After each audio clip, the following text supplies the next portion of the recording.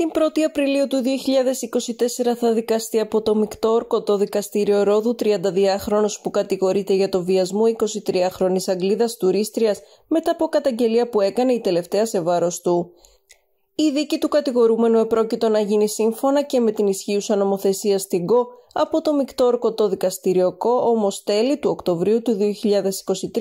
ο 32χρονος, ο οποίος είναι μόνιμος κάτοικος Αθηνών, κατέθεσε στην εισαγγελία εφετών 12 νήσων αίτηση αντικατάστασης έδρας, ζητώντας να εκδικαστεί η υπόθεσή του από το Μικτόρκο το δικαστήριο Ρόδου και όχι από το αντίστοιχο δικαστήριο στην ΚΟ. Όπως αναφέρει η Ροδιακή, ο 32χρονο επεσήμανε μεταξύ άλλων στην αίτησή του πως η κοπέλα είναι κάτοικος εξωτερικού, ο ίδιος κάτοικος Αθηνών και ως εκ τούτου δύναται να γίνει η δίκη στη Ροδό. Το αίτημά του έγινε αποδεκτό και μάλιστα η υπόθεσή του προσδιορίστηκε από την εισαγγελία φετών 12 νήσου να εκδικαστεί την 1η Απριλίου του 2024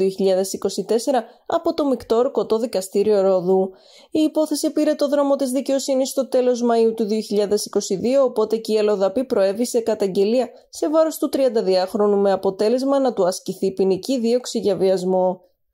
Ο 32χρονος παραπέμφθηκε στην ανάκριση και μετά την απολογία του όπου είχε αρνηθεί τα όσα του καταλογίζονται και είχε επαναλάβει τα όσα εξ αρχής είχε αναφέρει στις διοκτικές αρχές, ότι δηλαδή όλα όσα συνέβησαν έγιναν με τη θέληση της 23χρονης, είχε αφαιθεί ελεύθερος με περιοριστικούς όρους. Μετά την ολοκλήρωση των διαδικασιών η υπόθεση εισήχθη στο Συμβούλιο Πλημελιωδικών Ρόδου, το οποίο με βουλευμά του αποφάσισε η υπόθεση να παραπεμφθεί σε δίκη από το μεικτό ορκωτό δικαστήριο.